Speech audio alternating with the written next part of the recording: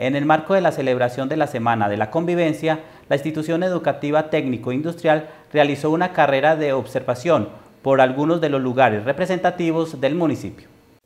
Esta actividad hace parte del proyecto institucional que tiene por objetivo mejorar la convivencia estudiantil, denominado Que nuestras diferencias nos unan. Esta carrera de observación cada año tiene una temática diferente, enfocada lógicamente a que nuestros estudiantes se extiendan a la comunidad, trabajen de la mano con la comunidad.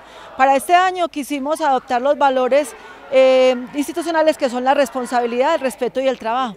Y en cada una de las siete bases eh, que ellos tuvieron que mm, descifrar para llegar, se trabajan estos temas, la responsabilidad social, eh, el trabajo eh, desde la oficina de trabajo, o sea, lo que, cómo están las tasas de desempleo en, en Sonsón, cuáles son las fuentes laborales, eh, y así una a una, las, cada una de las bases, pues les dejan a ellos un mensaje de cómo están sus realidades a nivel social para que ellos se puedan pues ir proyectando. Fue un espacio perfecto para pasar con los compañeros, para disfrutar, nos mojamos, fue, fue excelente el trabajo que que se realizó por parte de logística fue muy excelente porque estaban pendientes ahí dando ronda de cómo estamos los estudiantes, de cómo estamos pasando todos los momentos y referente a los compañeros fue muy chévere porque como le digo disfrutamos, tuvimos una convivencia excelente, fue, fue un espacio muy genial.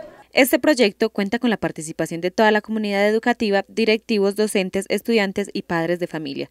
Las madres de familia hoy me están colaborando mucho en la carrera de observación. Ellas siempre se me vinculan, están en cada una de las bases, damos todo lo que podamos. Ojalá que muchas mamás vieran la importancia en cada colegio de colaborar con todo, de vincularse tanto en el consejo de padres, en todos los comités, para que así salga el colegio siempre adelante.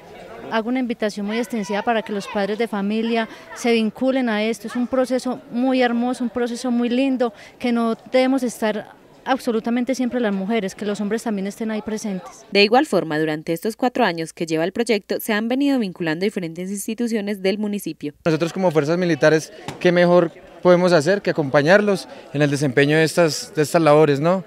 Eh, acompañarlos, animándolos, siempre, siempre motivándolos. Entonces fue una, una actividad muy bonita la que se desarrolló hoy como tal. Los vamos a seguir acompañando, los hemos acompañado por varios años como tal y lo vamos a seguir haciendo en estas actividades que son recreativas y muy buenas para estos muchachos que están en su etapa escolar todavía. Este proyecto también incluye a los niños y las niñas de la básica primaria, con el objetivo de promover desde edades tempranas la sana convivencia y el respeto por los demás.